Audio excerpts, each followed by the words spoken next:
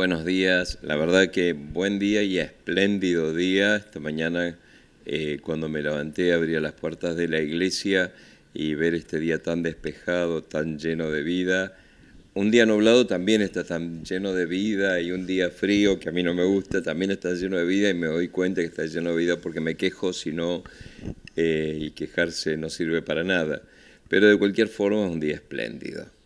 Bien, ¿qué tenemos para este fin de semana? Recuerden que este fin de semana es la Jornada Nacional eh, de los Jóvenes que se realiza en Concordia, ya me estaba equivocando de lugar, Concordia, y eh, de acá de nuestra localidad van eh, el Padre Nicolás junto con un grupo de chicos y chicas de nuestra comunidad para participar de esta jornada. Por eso es importante que nosotros los acompañemos con nuestra oración para que realmente lleguen sanos y salvos, disfruten de la jornada, disfruten de este encuentro con otros jóvenes y vengan con nuevas pilas para eh, evangelizar los jóvenes al mundo de los jóvenes y regalar toda su potencia, toda su fuerza, toda su alegría. Por eso es importante que nosotros los acompañemos con nuestra oración. Como Nicolás va para allá este fin de semana, recuerden que los horarios van a ser muy restringidos, los horarios de misa. Por lo tanto, les digo y después se los van a repetir, a las 18 horas el día sábado en San Carlos Norte y a las 19 y 30 en Heslar. No hay misa de 19 eh, y 30 aquí en la parroquia. Día domingo, 8 y 30 eh, parroquia 10 horas San Carlos Sud, 18 horas Plaza Matilde y 20 horas parroquia. Por lo tanto, no va a haber misa en San José Obrero. Así que entre ustedes acuérdense de avisarse que no va a haber misa en San José Obrero el día domingo y no va a haber misa en la parroquia el día sábado a las 19 y 30. El resto, a excepción de Plaza Matilde, que va a ser por la tarde, permanece igual.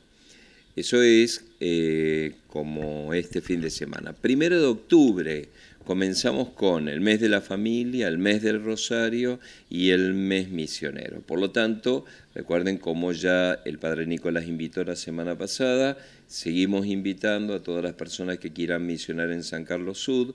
Se va a misionar todos los sábados de octubre de 15 a 18 horas y están todos invitados. Va a haber una reunión informativa y formativa el día viernes 4 y además para ultimar detalles ya hubo una reunión para ultimar detalles el viernes 4 a las 20 y 30 aquí en la parroquia. Están todos invitados, especialmente eh, todas las personas que pertenecen a las distintas instituciones y movimientos de parroquia y capillas de toda la zona.